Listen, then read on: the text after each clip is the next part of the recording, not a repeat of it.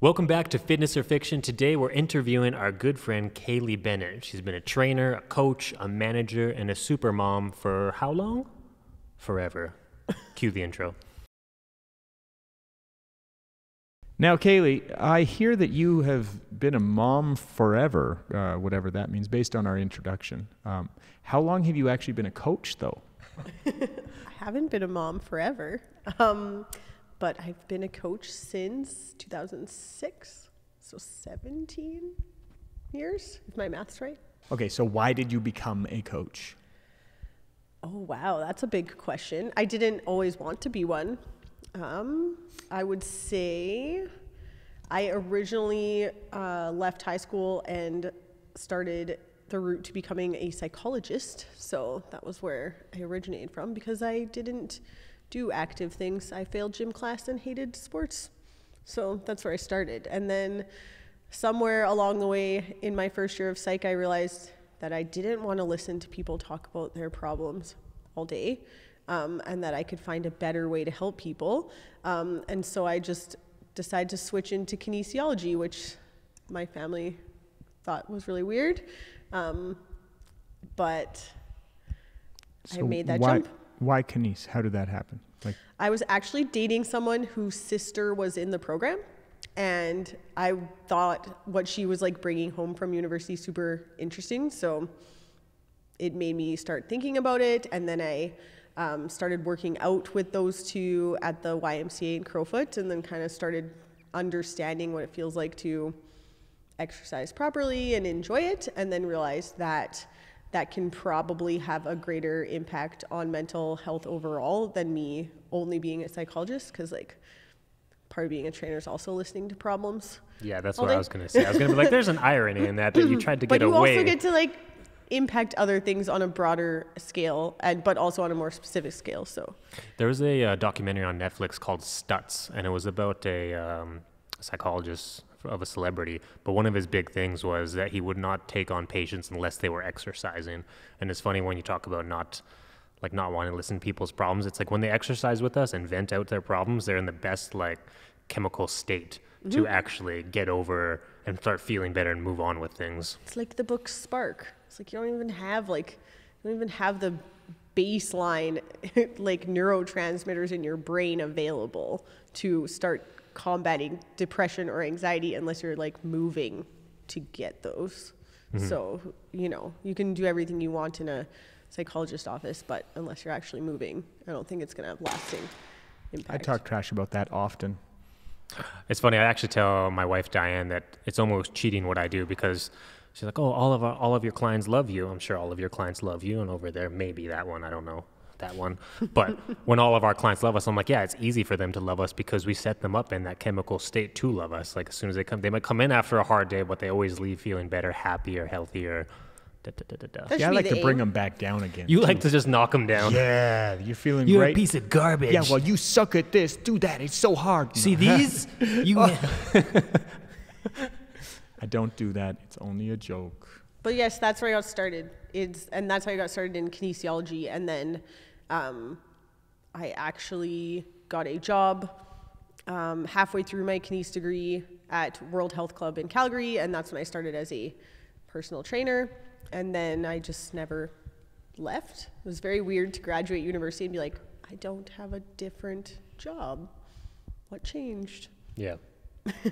But yeah. So, how did you get involved in your own fitness journey? We're kind of tandeming this thing. We're going to talk about you and, and your coaching experience, and we're also going to talk about you and your own um, health experience. Because part of this this interview series that we're doing is we've talked a lot about different topics and weighed in on them and whatever. So now we're we're actually wanting to just see the reality that people deal with. So, how did fitness first hit your radar as a person that wasn't really into sports and didn't didn't really identify with that as like a, a primary driver.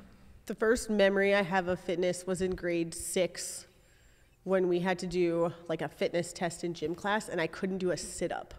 So I like failed the class and then I remember going home. Don't laugh. So. It's just it That's seems mean. it seems so old school to be like, hey, you're a grade six kid, you fail. Like, Well, I failed that if portion because I couldn't do a sit up and you were supposed to do X amount. Yeah. Um, and then, and so I remember like going home and my mom had like a old treadmill in her, in her room. So I started practicing like sit-ups and, and doing some like stuff on the treadmill and that's about it. And then I remember going into grade seven and then that's when cross country started and my god it took me like 35 minutes to run two and a half k like i was the last one all the time like i failed that too What kept you trying? You, your your initial. I didn't keep trying. Once Okay, I okay. didn't have to do phys ed in grade 10, I was like, out. Game I'm over. out. I'm not doing phys ed. But then I started back in it, like I said, when I got the gym membership to the YMCA, and then I started going there and all, like, really just um, buying fitness magazines and doing the workouts in those was where I started, which I feel like is where a lot of people. What sparked you to actually want to go to the YMCA, though? In my experience, the reason why I ask, and I might be picking at you, but a lot of people is sparked by insecurities. It was for me. It was because the guy I was dating went. So I feel like it was just like a way for me to like spend time with him. Okay. So I was like, well, I'll go. And then that, like, so like the friends I had, I was working at the co-op gas bar, and so all those guys were went to the YMCA, and so I thought I would do that. And then my sister and I got a membership there, and then we just kind of had it as our thing, and we would go to it a couple days a week, and generally like run on the treadmill or do some of those programs. Um, obviously, insecurity, like as always, I was not like a fit, slim kid. I, I danced competitively till I was 12 um, and then quit because I was the chubby one that got put in the back of photos. Um, and then I did swimming. I completed all my swimming levels and, and so I did that. But that kind of all stopped around like that time when like girls hit puberty and start hating how they look because you get like chubby and start bleeding and have like ugly ass new boobs. So like what girl wants to like be in a dance leotard or have to go swimming in that context? So it's really hard I think as girls to like you know get into like feel confident in that space especially at that age. Um, especially back like i feel like it's better now because we have more opportunities for girls and it's not it's not so much of like a, a th- like taboo thing to talk about but like back when it like when i was there like people still made fun of you for having your period. So it's like how do Yeah. you like how do you go? You still do don't So you There's been like four things that you've mentioned that are so tough. This is like the Kaylee Bennett story, a story of perseverance. so, so like, you, you're like, yeah, I did this, I didn't like it. I did this, it was tough. I did this, I hated. it. I did this, I failed at it. Then there was bleeding and all this crazy crap happening, and and then I became a trainer, and I've been very successful. I uh, I was a trainer, then a manager, and then a regional director, and now I run a successful online business. How like, how did that happen? Was that literally just kind of well, Kines seems okay, and you you started going that road, or, or Yeah. what happened? I like I wasn't enjoying the psych I was doing. Um, and then I started thinking of like more of what I wanted to do and I really liked being at the Y. And like I said, I really I talked with my then boyfriend's sister a lot and like got to see like her courses and her labs and like the first couple of years of Kinesis is pretty interesting when you actually get to do some of the exercise phys stuff. And so I found that like I was always interested in science, like I'm a really good student. So seeing that side of science seemed super interesting to me. Um, and then I got into Kines and I had a really like awesome experience. I did my first two years at Mount Royal. Um, and so it was like small classes and really like, it was just awesome. So as I started doing that more, um, one of the first like courses you take in Kines is like an exercise testing one. So they had us like run through a gamut of tests on ourselves at the beginning of the semester, and then we had to create a program for ourselves for those three months and go through it, and then we had to test ourselves again. And so like that, I think really opened my eyes to like what you can do with fitness, and and so I really enjoyed that course and still remember that, and remember like uh, writing myself programs and going to the Mount Royal gym every day to like work on specific things. Um, at that time, I started doing some like boxing style stuff too because I really liked the Rocky movies and those like training scenes. So I was like, I'm gonna do that, and then, and um, I also like always wanted to be able to run, so I did some running like here and there and kind of like that. But, um, and then so I was like quite active and normal. I moved to Mexico for a year. I ate tacos and got chubby. Didn't do much. There's no gyms there. It's like really hard to like imagine being in a world where it's not like accessible to have. They had one Gold's Gym in like all of Puerto Vallarta, and it was like there was no AC and it was a piece of crap. And it's like I'm not taking a half an hour Mexican bus ride to pay fifty dollars a month to go to like a gym with no AC. So uh, when I came back to Canada, I really missed the gym and working out. Got back into the university, started working at World Health, started getting to know more people. I hired a trainer almost right away. I trained with Manchester Oh, Adam right Naylor. away. There we yeah. go. Um, Curtis used to throw Swiss balls at my head during my training sessions with him. That sounds, Sounds super like it. helpul. Sounds two- accurate. And then Who I went that? to your sounds like abs a great class, guy. and you made fun of me for having SWAS. The Yeah. first class I went to. Yeah. With Curtis just like, really sounds like a bully on this episode. He's my trainer now. Where's, where's the so I just want to say too, like the the part, like the reason why we're doing these interviews, I think, um, like your fans, your clients, your loved ones might want to learn something deeper about you or learn about your experiences. I think a big part of it is people not feeling alone in this journey. I know countless people who are insecure with going to the gym. Oh, people are going to look at me and things like that. So for you, when you first started going to the gym, whether it's the YMCA or World Health, what was that experience like for you? Did you find it nerve wracking? Or were you very comfortable right off the get go? Like, how did things feel? I'm still not comfortable. 100% Still not comfortable. going to the gym. Kaylee Bennett, a story of perseverance. I like. I mean, even most recently, we are like. Ever, I think everyone. Well, gyms were closed, and then in the in the COVID times, I had a baby, and then when the gyms reopened, there's no childcare, so I was essentially like working out by myself in my basement for two years, which like took me a while to get in the swing of. But then it started becoming a habit, and when Evolve opened, and I started coming here, I was like. I have severe anxiety about working out in a gym in front Yeah. of other people. And you've been a coach for 15 yeah, plus so years me, in the I gym just did it. I was like, I'll get over it. I just got to do it because So- nothing's going to happen unless I do. this is a huge strength of yours. Like, how long have we been training now? Since what? Oh, oh, 09. Oh nine. Yeah, yeah. Okay, so a couple years. Um, I remember you being in the gym, and I would harass you to get you to have a good time because you seemed uncomfortable. Like you did. It's like you seem painfully shy. No, it, like you did seem uncomfortable, and the more I'd make you laugh, the more you seemed to do things. But I remember, like, even when we started, you were like, "Oh, I have, I have pain." Was it knee pain you were dealing with at the time? You were trying to run, and you had some, you had pain that we were trying to resolve, and we trying did. to remember how we even like got started training because it was when you moved back from Edmonton. That's right. but like I said, I've always had a trainer. I had Manchester, I had Mark Eddy, I had Josh Stride, like, and then, and then I started working. That was when I was working at Edgemont in the restaurant, and then I went and started working at McLeod. And I didn't have a trainer when I was at McLeod, but you came back from Edmonton, and for some reason, and I still I can't pinpoint why I asked you to help me with Olympic lifting. Well, at first it was like it was a knee pain issue from running. I remember that, and it was we were at Sunridge. But the Plantar reason I fasciitis. oh, it was plantar fasciitis. There it was. Okay. Yep. S but like when we were doing an assessment, I was kind of seeing where you were at with things, and I, f- I identified really quickly that like you had developed some sort of engine, uh, like you you could run, you were doing reasonable distances and things like that, and you were developing pain and whatever else. And so I, I was trying to get to the bottom of it. You had amazing ranges as I did the assessment, and then when I started checking on like strength levels, uh, that's the classic story that you always Banana tell. Curtis everybody. tells this to everybody. He refers to you sometimes as a wet noodle or a slippery banana peel. Yes. No, there's no wet noodle and there's no It's slippery. It's always the strength of a banana peel. I, I told her that she had the strength of a banana peel because I was shocked.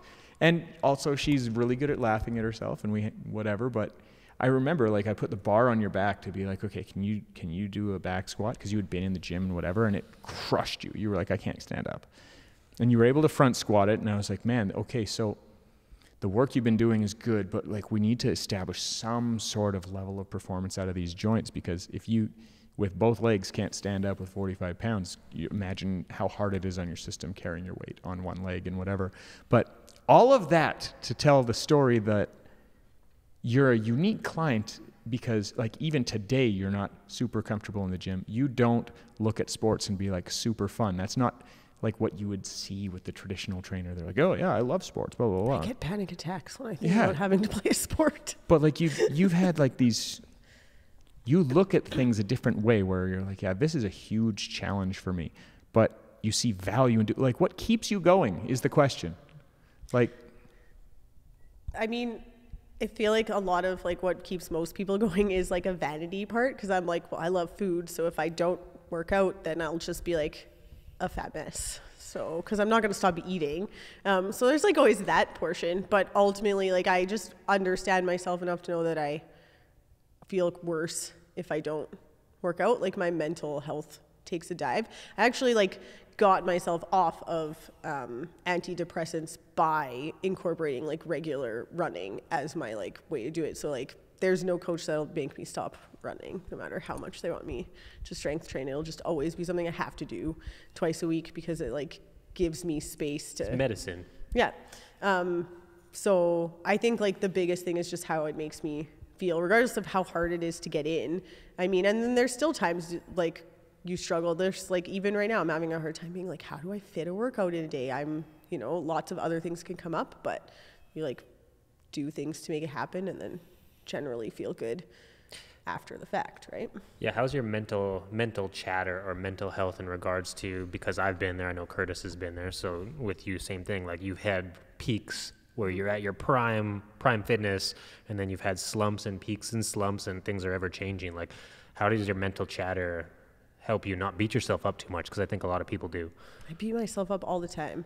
And honestly, um, that's like my biggest challenge is that I'm my own worst critic. And like, um, I think a lot of people resonate with that. Curtis told me my weakest muscle is my brain, and one of my other coaches told me that I need to get out of my own way. So it's not something I'm great at.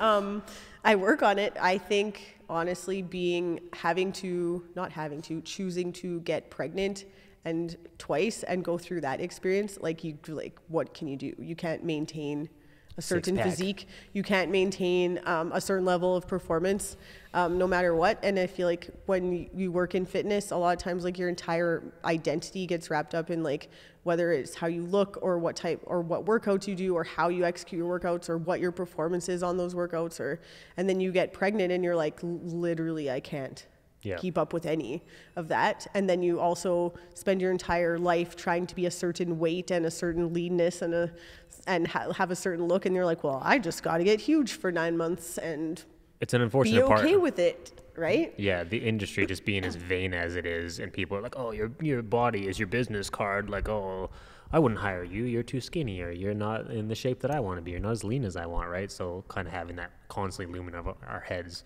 We mm-hmm. all can't have Curtis's biceps.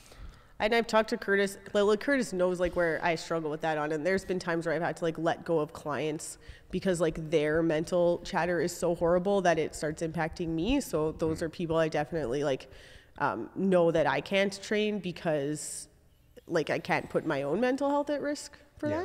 that. Um, but I, with my first pregnancy, I was like, I think I really, really focused on it, um, almost to the point that I had a hard time enjoying that pregnancy because I was like so concerned about like you know uh, gaining weight or what it was gonna like how I couldn't do things and how you know once I had the baby it was like you know I remember our like our first session back after Asher I just like you know you're so uncomfortable in the gym you're still wearing maternity clothes you've like you're squishy everywhere and you're just like this is not how I want to be in this space. Um, and then I went into my second pregnancy like really trying hard not to allow that to be like the space my head can get to. Um, I think I did better. It was still like a struggle, but I was able to like maintain um, my workouts better throughout my second pregnancy because I was just focused on what I could do instead of what I should have done or did before. Yeah. Um, and then I think I was a little bit more gracious with myself after that pregnancy too, especially because after that one I didn't even have access to a gym. It was like, there's no gym, they're closed. I'm in my basement. What can I do? Yeah. So The Kaylee Bennett story, a story of perseverance. No, Do you? It, Go ahead.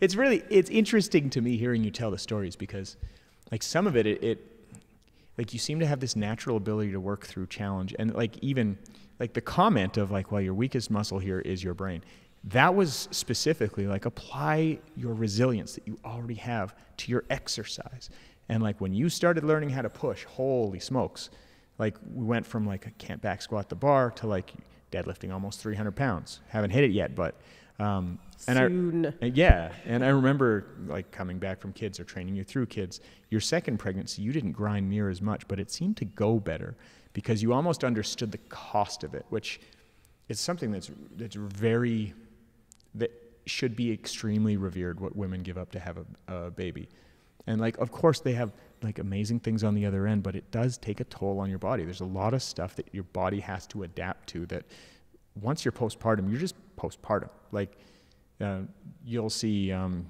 Galbraith always talking about like, oh, your wife had a baby 20 years ago. He's like, yeah, she's not postpartum anymore. It's like, oh, mistake. Fact, she is. There's there's things that change. Um, it's an amazing scenario, but just hearing you talk through this stuff, it it comes back to the same theme often. Like you you see something, you decide you're going to confront it anyway, and then you come out the other end. And that's that's how our training process has been through both pregnancies, through getting you to understand how strength work can impact your running. And I never asked you to quit, which is I think why you stayed. Uh, but um, yeah, it's a, it's an interesting story that I think a lot of people can kind of relate to. It's it's there's a lot of resiliency in this story. Oh, thank you. I had a weird question about COVID times and working out from home because you worked out at home a lot and then back to the gym and stuff like that. I've talked to a couple guys, Merck, Murkowski being one of them. He was on our last episode, but we were talking about he was mentioning how I work exclusively from my home gym now. So there's no audience, there's nobody to put on a show for. It's all it's all 100% me. Have you noticed a difference between like working out at home and trying to push through hard workouts. I think we and you actually talked about it during COVID time. Even it's a struggle for me. Like it's not really the same versus when you're at the gym. I don't know. Murkowski, even myself, feel like we're on stage a little bit more. Like you're in the fishbowl and people are watching, so you can push a little bit harder. Do you find anything like that with your experience between home and gym?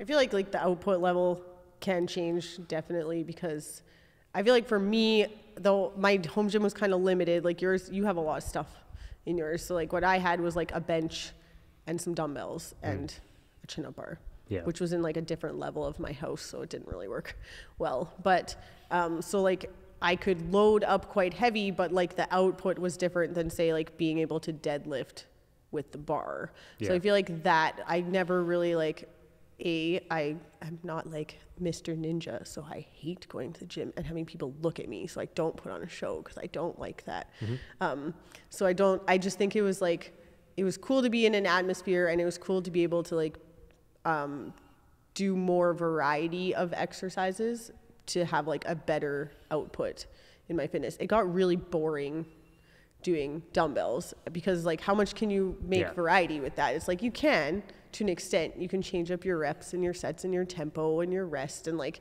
you know, some of the ways you put together a program. But then there's also the thing that's like, sometimes it sucks like sw- getting really sweaty and awful feeling in like a 10 by 10 basement room. It's like there's something about being yeah. in a gym when you're like i have space to like breathe. I think so, the environment is a big difference too yeah. right? When you're at home there's so many distractions. You can get mm-hmm. caught up in some and oh maybe i'll just do this instead was when you walk through the doors of the gym there's only essentially one thing to get done. Yep exactly. and so that environment helps a lot. So we've covered how you got started in the gym and as a coach and, and as a as a, we'll call it exerciser or, even client, we could call it. But when we get through that process, you, you've talked about kind of how there's the ups and downs of being pregnant. You've talked about what it's like to deal with people in the gym. We've talked about a lot of stuff like that. But to kind of wrap it up, we've got these these angles of you know being a coach and being a client makes you kind of interesting because you've got both sides we have two main questions. I'll ask the first one, and, and the first one is our our podcast is called Fitness, Fitness or Fiction, or fiction. right? Um, so it's kind of one of these things. What as a exerciser and as a coach, you can be separate or the same, has been something that you found that is absolute hogwash.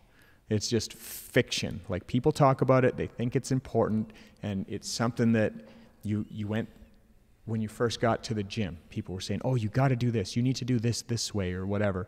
That you found that's just like, man, that's overhyped. It's it's not super helpful, and needs to be left behind. Have I'm you found on, anything like that? I'm just on a detox tea. I'm just cleansing myself, just cleansing of all the toxins. Gotta get those I mean, BCAAs. I feel like it goes in waves and like phases. Like when I started training, it was still when you would like, oh, let's train stability by standing on a Bosu ball.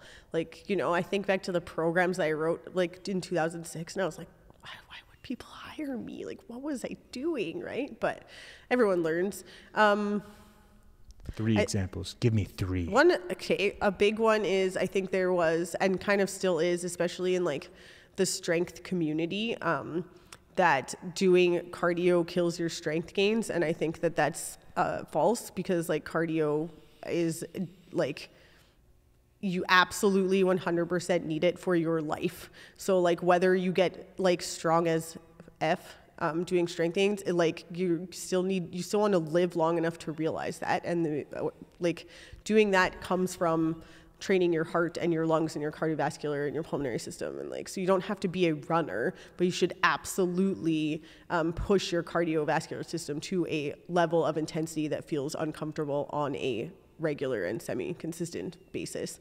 Um, I, if you're training a well-rounded strength program and addressing things properly, um, doing a run is not going to make you not gain muscle. Like the strongest I've ever been was like I had the best 10k time I had and the highest back squat. So I don't really believe that that could, you know, you could never train like if you're training for a marathon, then you train for a marathon, but that doesn't mean you forget about the fact that like you need muscle in order to do so. If you're training for powerlifting, then you train for powerlifting, but that doesn't mean you forget the fact that like your heart still needs to pump blood to those muscles. So you might want to address that at some point in time. So I think So- that's a big one. So the idea that strength and cardiovascular fitness are not mutually exclusive. Yeah. Yeah. Okay. Um, I think too many, especially I think it's especially now with like Instagram fads and stuff, people tend to jump on the bandwagon train of like what seems to be a really cool exercise. Um, but generally speaking, you can I mean and every like, you know, the the big uh, like not the big fitness influencers, but like the John Goodman and like the Jordan Syatt and like those guys have like big followings but aren't flashy, will always like preach that like the people that get results do like boring shit over and over and over again because like you just got to keep coming down to that. Like no one's sitting on there doing random Instagram workouts of like these crazy exercise all the time and getting results. They generally do like this basics and they do the basics well. And that's important too. Well, I like that you said like social media is not all bad. There's some guys that are saying some really good stuff out there, but I've I see stuff every day that I look at and I'm like, man, that is so misleading. Like I saw the other day people doing push-ups and then touching one foot and going back out and doing a push-up and it was entitled "end back pain." I wish that those tricks worked. When somebody's like, yo, you want big chest? Just when you do your cable flies, turn your pinkies in. It's going to be a game changer. And then your chest grows like four more inches. Just, Four extra inches. I wish. Oh my goodness. You'd, you'd have to bridle those top. But imagine if those hacks worked. you would need an over-the-shoulder boulder holder. Um, and then I think that just because you know how to work out doesn't mean you know how to train someone too.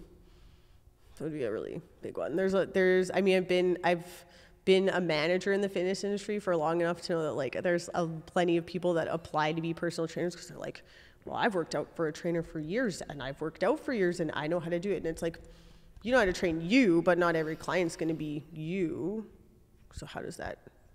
That used to drive me crazy. I used to ball like bust balls in my gym all the time when I was fitness manager, walking the floor around prime time. I would see guys who I was friends with. I was friendly with pretty much everybody. But if there's a group of three guys who are training, one of them's phenomenal shape. He knows what he's doing. He's in great shape, great technique. And then his friends are like little newer, little rookies to the gym, and they're lifting way too heavy with terrible form. And then I go to the like guy in shape, like, bro, like Curtis. I'm like, why are you gonna let your boys lift like that? Like, what are you doing? You're sitting here on your phone on Instagram. Your buddy's gonna break his back, and then there's the end of your workout partner. So, like, to that point, just because you're in great shape, doesn't mean it translates. I'm going to push you on that before I let Eric ask his question. Okay. What are the things that you think are missing for the people that, you know, maybe they've had a trainer, they've got some good experience, they've trained themselves to a certain level? What are some of the things that a good trainer or coach has that they're missing? This I- is a why question. This is like a three year old why. Right. Um, because I think sometimes to like understand the like complexities of individual humans, you have to like go back to the simplicities of like you know like do you know how a muscle contracts or like the biomechanics behind a movement, um, because that's really gonna like help you create something for that specific person. Um, and I think it just comes down to someone could have all the certifications and all the education and all the degree in the world, but they might be a horrible trainer. So it ultimately does come down to experience, but also with like the openness to learn and like build on it and ask questions and and recognize that they don't know everything. I think the sometimes the worst trainers or the ones that people should run from are the ones that don't that refuse to learn from other people. So it's just learning. I think overconfidence is a scary thing. You need to find somebody that's open to learn. I think that's huge. I think they underestimate the amount of give a crap they have to have about other people because I don't care about how much you like sports. I care about how much you can meet somebody where they're at, which requires behavior change psychology. It requires empathy. It requires all of these things. And then even if you know all the cues to teach a squat, which one's appropriate at the right time? Because you only really have one at a time.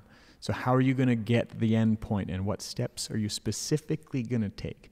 How exactly is that exercise selection the best? Why does your program look like this right now? How are you going to coach them on what to eat? It's not just knowing the answer, it's like there's all these steps. So I, I think that's a really good a really good point in, Yeah. in that mix. Understanding the complexities too, so that you can like understand what to do to make it simple for someone. I know we talked about that like at World Health when you teach Olympic weightlifting, and it's like, well, why would I take an Olympic lifting course if I- don't train, I don't coach clients in Olympic lifting? It's like, well, why wouldn't you want to understand like the most complex way to do an exercise so that the simple ways are easier to explain? Like that makes sense to me, right? So Yeah, I think people oversimplify the body, which is a very complex system. It's very easy to oversimplify it, especially in the world of TikTok when it's 30 second blips of everything. In regards to high level trainers, be, you can be the smartest person in the room, but if you have zero people skills, they're not going to listen to you. They're going to listen to somebody that they vibe with a little bit more. Maybe not quite as intelligent as you and have all the answers, but it's going to leave you being the person sitting on the sideline being like, oh, what, why wouldn't they listen to what they're listening to that person? That's so stupid. I've seen that from very high level elite trainers who have multiple certifications complaining because they can't get any clients while someone less educated than them is flowing with clients just because they can create a better community. They're just better people, people. and they're coachable and willing to learn. And they're coachable, willing to learn, not egotistical, all those those things. So on the flip side of this question of the most overhyped things you know, what's some of the most simple information that would be valuable for any listener? Like the most effective information. would be um, number one no one knows exactly what they're doing in a gym so hire a coach. Even if you think you know what you're doing you don't because even like the best coaches have coaches so that's a moot argument.